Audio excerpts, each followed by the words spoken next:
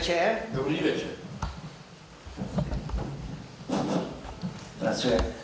A děkuji vám. A já mám vlastně dvě otázky, ale mohl bych to shrnout do, do jedné otázky.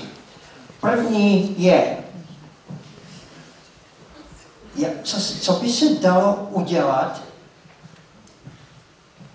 kvůli politickým vězňům, kteří stárnou, umírají a nakonec se zjistí, že on umřel a měl čtyři roky zbytkového trestu. Tohle je absolutně neuvěřitelná věc. Já když vykládám naš, mým přátelům ze státu a nebo z jiných demokratických zemí, a když jim to vykládám, tak žasnou a říkají, proč to nezměníte? Já jsem Pavel, já bych potřeboval asi tak uh, dva týmy Seven Magnificent, změnil bych to. Byla by možná nějaká změna v tomhle? Eh, já vám tady jsou eh, dva důvody. Za prvé eh, to je tak, pač nejdřív bychom museli nalézt většinu v sněmovně, chceme, aby to zákonem změnila. To je první věc. Za druhé je následující fenomén, který si musíme uvědomit, že zatím druhý odbor během druhé světové války byl všeobecně uznán a či řekněme, byť jsme měli bohužel dostatek kolaborantů za války také, tak to byla přece jenom výrazná menšina. Ještě dostatečně veliká pro mě, ale byla menšina. Za to v těch, během těch 61 let komunistické vlády se, se spousta lidí nějak namočilo.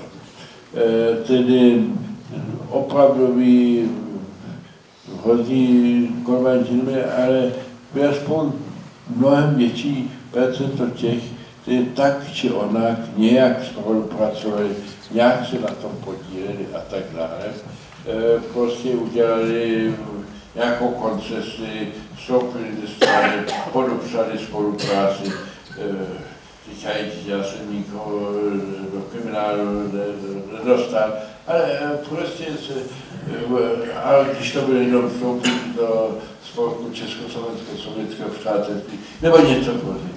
Prostě a to, to tam uvnitř vestice a tak dále.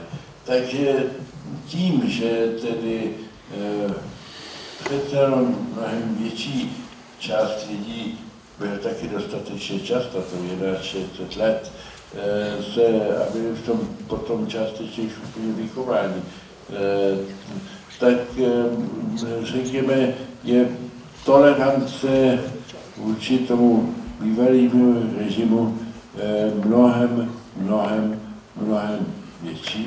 A tudíž ti politický vězni jsou vždycky na to buď bez toho něco ukázat, nebo on byl jenom takový kverulant, že se mohlo žít, aniž by člověk byl zavřen, mě taky nezavřeli a přece jsem celou tu dobu tady žil.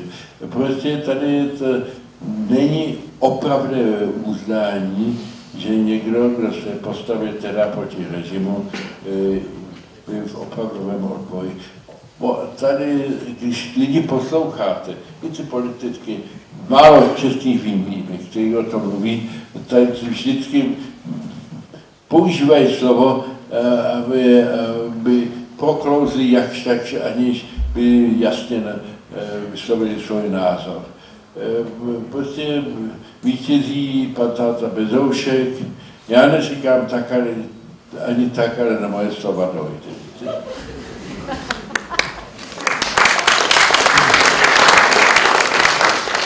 Já vám, já vám děkuji za odpověď, já tomu rozumím všemu, ale prosím, ještě bych vás poprosil, že bych řekl jednu otázku. Můžete ji odpovědět dvěma, třemi slovy, ale rád bych, aby zdejší poděbradáci, aby to slyšeli. Před 70 lety byli takzvaní tři králové. Ano. Balabán, Ano. Mašín, Ano, ano. Morávek. Ano. Já už čtyři roky se snažím, v Praze samozřejmě, tam lidem vtip, vtip, a snažím se to vtipit do, do myslí, co to bylo za, za chlapy. A že by tam už měl stát nějaký pomník, jako těm našim výsadkářům, a už je to 70 let, a ono se o tom ani nechce nikomu moc mluvit. Tak eh, já vám vždycky řeknu, děkuji za tuto informaci. Eh, Po Lidský králové eh, byly jako dlouhá léta takový můj ideál, jako kluk jsem říkal, takový bych byl rád taky jednou. Takže neviděl jsem, že, že tam, že vůbec nikdo, nějaká památní deska, žádný pomník na ně neexistuje.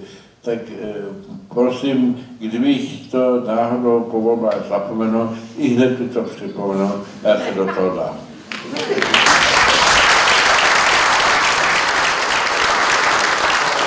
Já pozoruju už pana Schwanzenberga delší dobu a on se mi jako eh, vzdá ta, ta, ta, on přišel z té staré generace. A to, je, to jsou ty správní lidi s rovnou páteří. Mluví pravdu a nelžou a nedělají si z vás srandu. Tak jsem byl, opravdu jsem byl rád, že mě, že mě dal to slovo a, a teď, když jste mě řekl, že můžu jít ještě na pivo tam, takže prohodit s tím ještě pár větiček, tak absolutně jsem spokojený. Ten si mě koupil.